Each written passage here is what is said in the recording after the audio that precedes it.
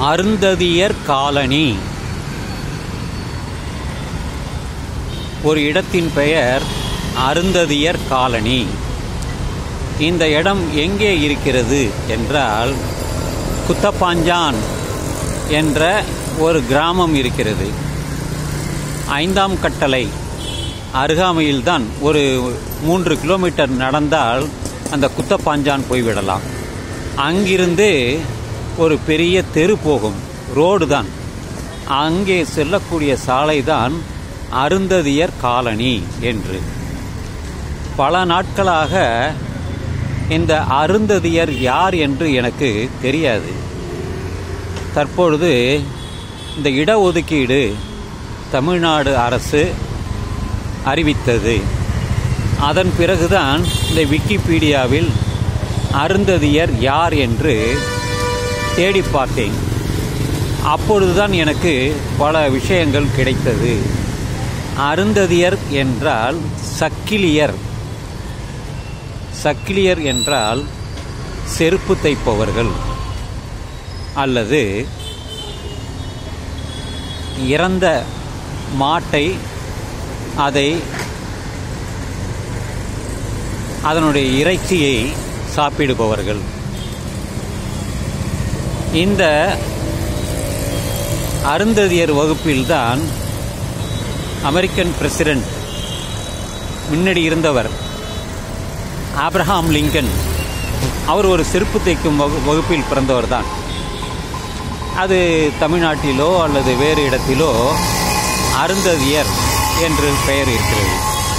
யார் இந்த அருந்ததியர்கள்? அவர்கள் எங்கிருந்து வந்தார்கள் என்று தேடிய பொழுது அவர்கள் ஆந்திராவில் இருந்துதான் குடிபெயர்ந்து தமிழ்நாட்டிற்கு வந்துள்ளார்கள் என்ற செய்தி கிடைத்தது.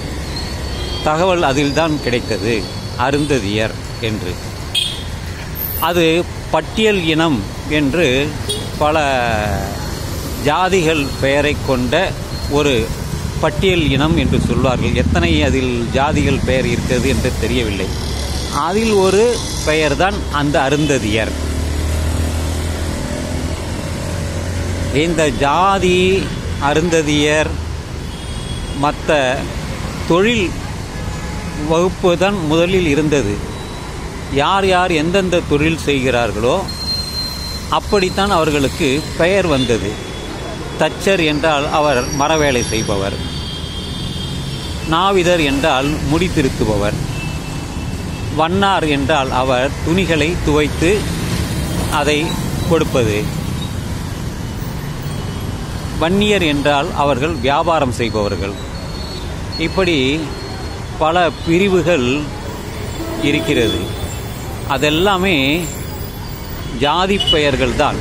ஆனால் தொழில் பயணம் தொழிலை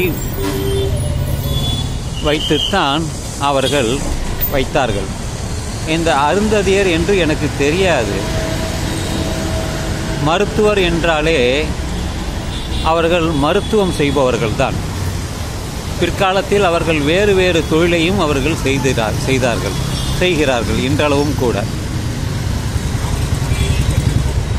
ஏனால் கிராமத்தில் மருத்துவம் பார்த்தவர்கள் தான் அந்த மருத்துவர்கள். மருத்துவ குடி என்ற ஒரு கிராமமே இருக்கிறது. ஊரே ஒரு குடியே இருக்கிறது. அதை பற்றி கூட நான் என்னுடைய யூடியூப் சேனல் சிதம்பரம் கொள்ளிடத்தில் ஒரு யூடியூப் பதிவுள்ளேன் எனவே இந்த பட்டியல் இனம் அருந்ததியர் யார் எப்படி தமிழ்நாட்டிற்குள் வந்தார்கள். எவர் அப்படி அவர்கள்? இந்த தோட்டி என்ற ஒன்று சொல்வார்கள். அவரும் அந்த வகுப்பை சேர்ந்தவர் தான் சுத்தம் செய்பவர்கள்.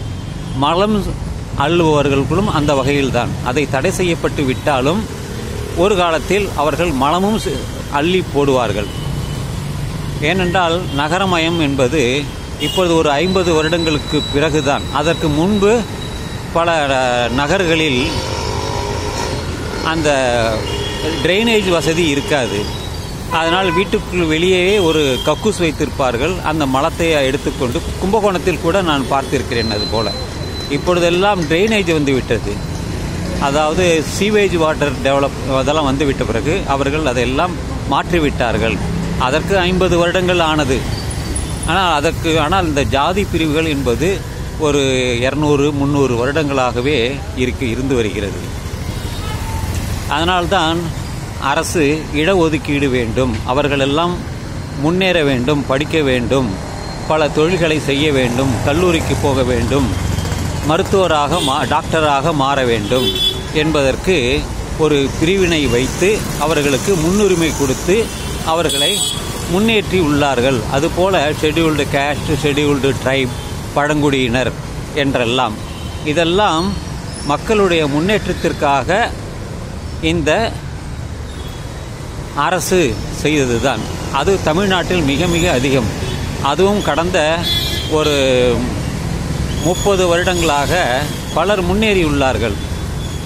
ஏனென்றால் இப்போ இந்த கம்ப்யூட்டர் வந்த பிறகு பலர் அதை படித்துவிட்டு பல வெளிநாடுகளில் லட்சக்கணக்கில் அவர்கள் சம்பாதிக்கிறார்கள். அமெரிக்காவில் பலர் இருக்கிறார்கள்.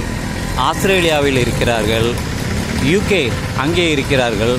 என்று பல இடங்களில் அவர்கள் படிப்பின் மூலமாக சென்றுள்ளார்கள். அவர்களெல்லாம் பட்டியலினத்தில் சேர்ந்தவராகவும் இருக்கும். அதை யாரும் வெளிக்கொள்ள மாட்டார்கள். தெரியாது யார் என்று ஸோ அருந்ததியர் யார் என்று உங்களுக்கு தெரிவிக்க வேண்டும். எப்படி வந்தது என்பதை பதிவிடவே என்னுடைய யூடியூப் சேனல் சிதம்பரம் கொள்ளிடத்தில் அதை நான் பதிவு செய்கிறேன். இந்த கருத்துக்கள் உங்களுடையது எதுவென்று நான் தெரிந்து கொள்ள விரும்புகிறேன். இந்த இரவு நள்ளிரவாகட்டும் நண்பர்களே. தற்பொழுது நான் பல்லவன் சாலை தொன்போஸ்கோ ஸ்கூல் அருகாமையில் தான் நிற்கிறேன்.